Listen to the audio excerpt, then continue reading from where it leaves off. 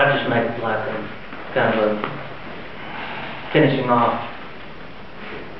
comment about uh, my thoughts on this particular issue. I think that there's been a lot of good comments brought up.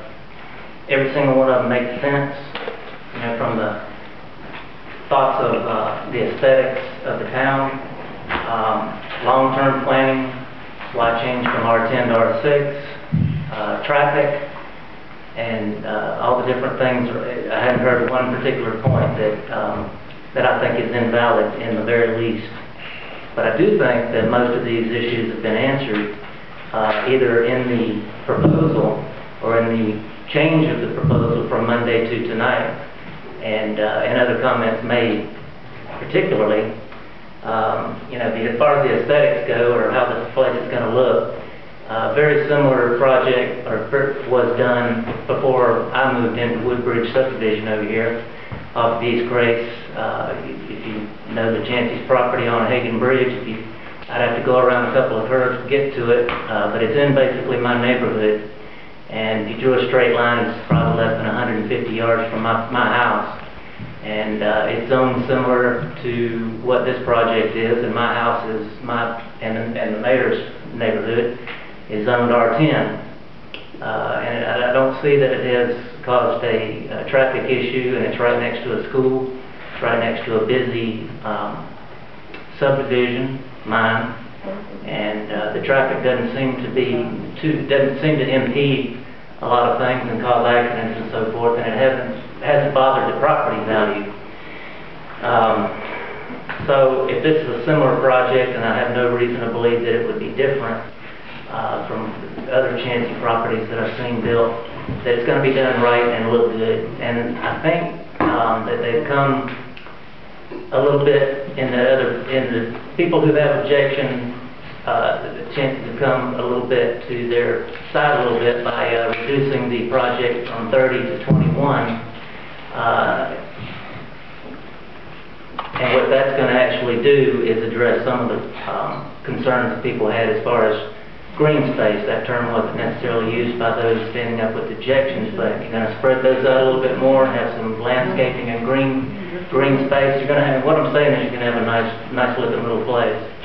Uh, Like I said before, I did go out there in Stanfield and drive from one side to the other, and that's where I came up with the numbers that I shared with everybody on, on Monday night. I won't go with those specific all the way through, but it, it boils down to about one car every five minutes extra than what you have now going east, and one car every five minutes or so going, going the opposite direction. Uh, if this were, if this came to fruition as it was originally planned with 60 units now, you could calculate that down to about a less, less one-third, because that's about what they've, they've reduced. Um, Let's see, what else? Um, That curve, that is a problem. That's a curve, it's a narrow street, it's a, it's a bad curve, and you have to do something. But the city can do something about that as far as signage, um, maybe some minor repairs, uh, stop signs, speed bumps. A a number of things can be done to, to help that extra one car every five minutes. But, I'm not just talking about the one car every five minutes, but the traffic that's there now because that is an issue. You can't just say, you can't talk about one car when hundreds of people already live out there now. And it is an issue, it needs to be addressed. Um, what else?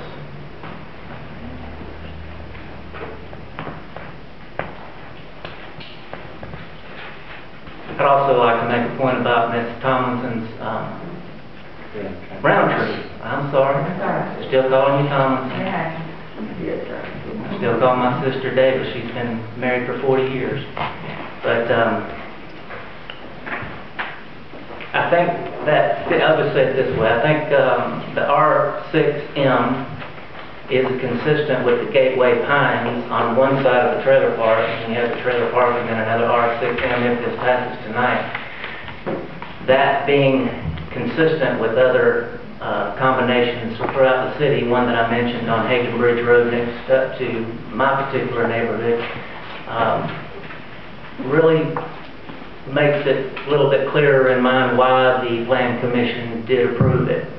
uh, not just the ones who voted, but the staff, meaning Matt Martin uh, and his staff, looked through this thoroughly and gave a recommendation, and they thought that was okay too. So for that, I'm, I'm going to support this tonight. No, I, I, can I throw two cents in? Yes. Everyone has time to speak. In evaluating